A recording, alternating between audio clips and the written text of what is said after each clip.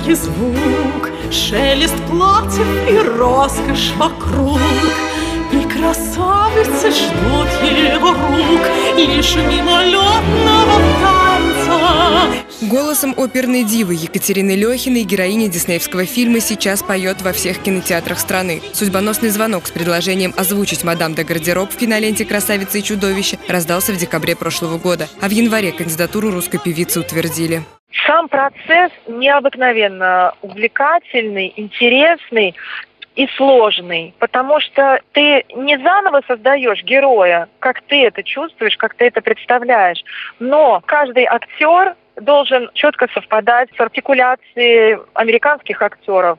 На то, чтобы диснеевская героиня запела и заговорила по-русски, ушло два дня. За это время Екатерина успела ее полюбить. Это, конечно, не центральная роль, да, не главная, но очень интересная, яркая, характерная роль, потому что в человеческом обличии моя героиня является оперной певицей, кем я являюсь, в принципе, в жизни. В заколдованном замке чудовища это уже образ гардероба, комода, разговаривающего и поющего. Слава богу, у меня все получилось, так сказать, с первого раза, и все были довольны и сказали, что это было попадание в десятку. Богема и Аланта, волшебная флейта, десятки ролей в культовых оперных постановках. Сегодня Екатерина Лехина блистает на подмостках лучших театров мира. Из-за плотного графика на малой родине в Самаре бывает редко, хотя свой творческий путь Екатерина начала именно здесь. Закончила музыкальную школу, затем поступила в Московскую хоровую академию. Выбор дочери родители сначала не одобрили.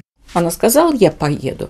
Я думаю, ну и что, или я с ней поругаюсь, оставлю ее и будем это, или я ее отпущу. Ну, я ее отпустила. Думала, не пройдет. Прошла. Прошла. С тех пор Екатерина уверенно идет к вершине музыкального Олимпа. В 2011 году она стала лауреатом премии Грэмми. Теперь получила опыт на студии Диснея. В Самару оперная дива планирует приехать в декабре, возможно, даст сольный концерт. Алина Чемерец, Константин Головин. События.